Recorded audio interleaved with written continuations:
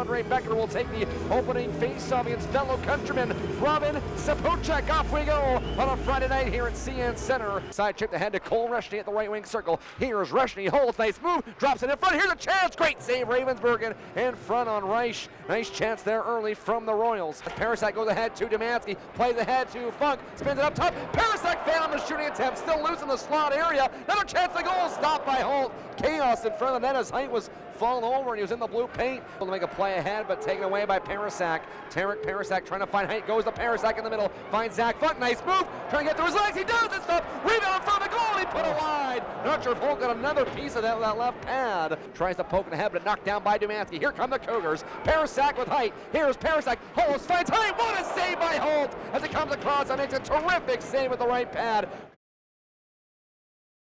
We have a two on one the other way, maybe a three on one. Here's Newman, Scott, Newman right wing, back to Scott, scores!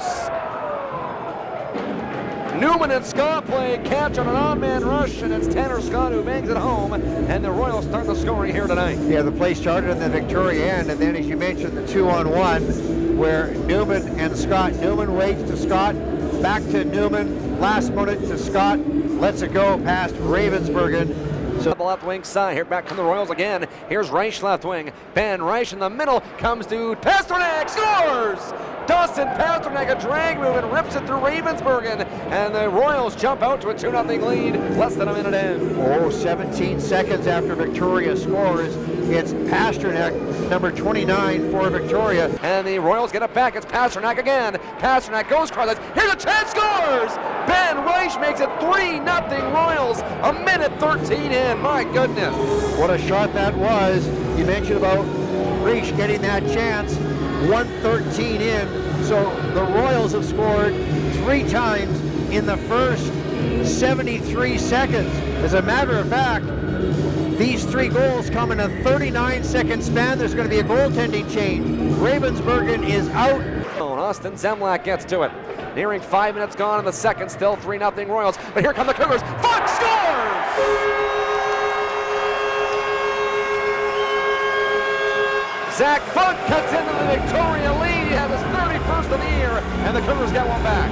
Great pass from the WHL scoring leader, Riley Heidt. Taken away again by the Cougars. Parascak, nice move, right wing. Up top, Becker. Close crosses Funk, and they couldn't tap it oh. home. Funk found Parascak back door, and he missed. Up the middle and gain center and find Hunter Lang. Here's Lang. Nice pass to Funk. Here's Funk. Shoots, scores!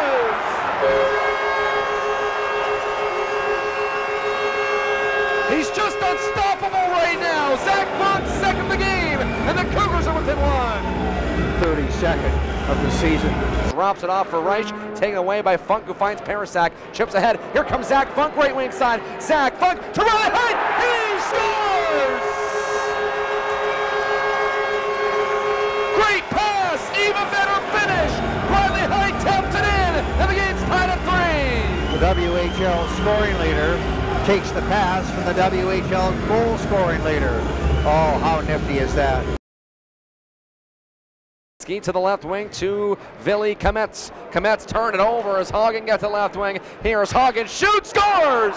Haugen on the Cougar turnover goes short side on Young, and the Royals again an early goal in the period. It's 4-3.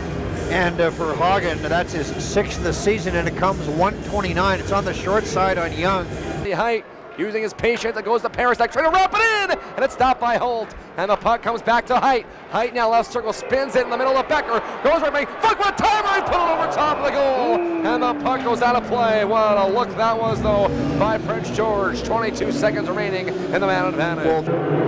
They made the blow of this dead. The lights are still flashing as Kipke has it right wing side. Centers, it scores!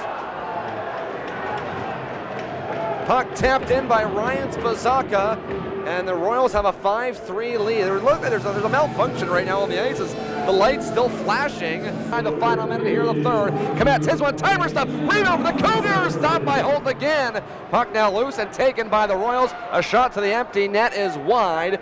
It comes back to center. The Victoria Royals knock down the Prince George Cougars with a 5-3 victory and take the first one here of the doubleheader weekend. Victoria Royals scored two unanswered goals in the third period to knock off the Prince George Cougars a 5-3 in the first of a doubleheader.